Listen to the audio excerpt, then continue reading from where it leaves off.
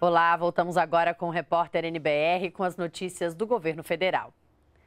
Cai a taxa de desemprego no Brasil. Ela recuou a 12,2% entre agosto e outubro, em comparação ao período maio a julho. Os números foram divulgados hoje pelo IBGE. A população desocupada somou 12 milhões e 700 mil, com queda de 4,4% em comparação com o trimestre anterior. Mais um capítulo da história passa a ser contado. Depois de 155 anos, agora leis, portarias e decretos só em versão digital. É que o Diário Oficial da União vai encerrar a produção impressa a partir de amanhã. E quando a última folha sair e o botão das máquinas for desligado, será motivo de emoção para muita gente. Leis, portarias, decretos. Documentos oficiais publicados há mais de um século e meio Estamos falando do Diário Oficial da União. Hoje, essas máquinas produzem por dia, em média, 6 mil exemplares do documento, que é distribuído para todo o país, mas já chegou a ser 60 mil impressos diariamente. E a edição do dia 30 de novembro de 2017 vai entrar para a história. O Diário Oficial vai encerrar a produção impressa e vai ter apenas a versão digital. O Diário Oficial foi criado por lei imperial, sancionada em setembro de 1862. E o primeiro número circulou em outubro do mesmo ano e foi produzido por uma máquina parecida com esta aqui. Toda e qualquer política pública que você é, imaginar é, do século XIX para cá, desde a Lei Áurea, é, passando pela República, passando por períodos como a ditadura militar né, e a, a, democratização, é, todos esses atos tiveram a sua certidão de nascimento publicada é, pelo Diário Oficial da União é, e pela imprensa nacional. Então, é um repositório né, de informações acerca de políticas públicas inestimável, certamente o maior é, do país.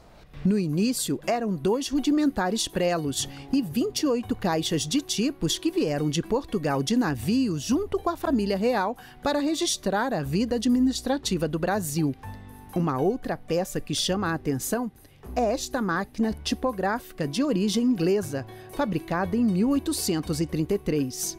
Ela foi instrumento de trabalho do escritor Machado de Assis que foi servidor da imprensa nacional entre 1856 e 1858.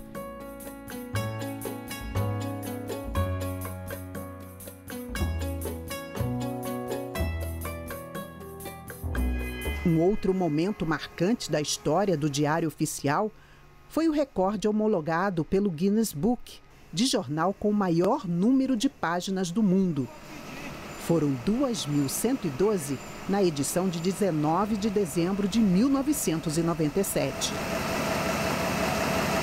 E foi nesse mesmo ano, em 1997, que foram dados os primeiros passos para a modernização do Diário Oficial, com a inauguração do endereço eletrônico. Mais tarde, em 2000, mais um passo foi dado rumo à era digital o Diário Oficial passa a ter edição completa pela internet, o que amplia a democratização do acesso às leis. Os novos tempos exigem mudanças, racionalização e sustentabilidade. Os diretores fizeram as contas e estão certos de que a decisão de digitalizar o Diário Oficial da União vai trazer ganhos para o país. Dia 1 de dezembro de 2017 será um marco para o Diário Oficial da União e exatamente a data em que ele passa a entrar definitivamente no universo das mídias sociais, da, da, da, das novas tecnologias, é, das modernizações tecnológicas. A medida vai gerar uma economia de 2 milhões e meio de reais por ano, mas os benefícios vão mais além.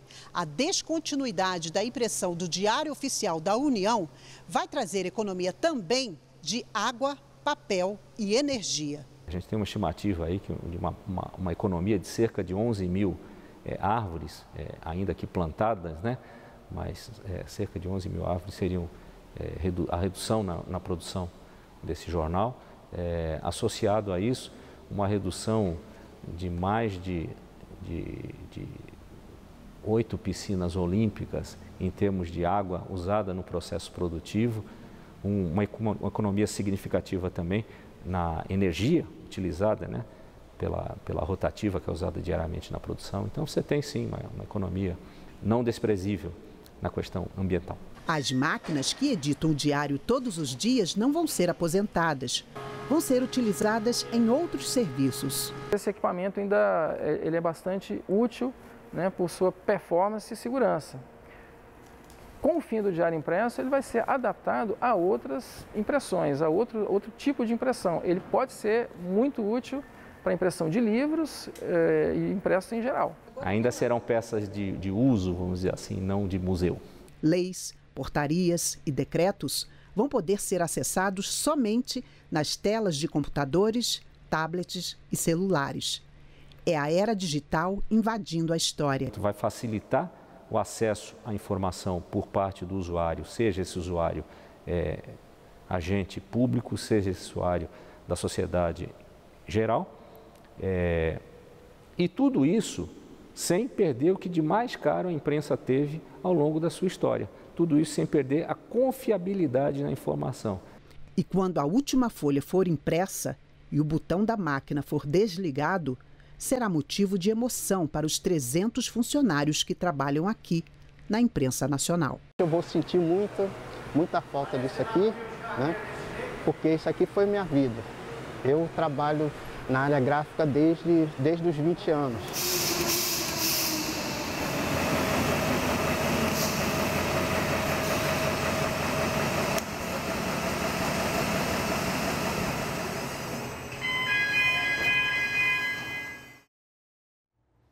Termina hoje o prazo para a renovação dos contratos do Fundo de Financiamento Estudantil, o FIES, do segundo semestre deste ano.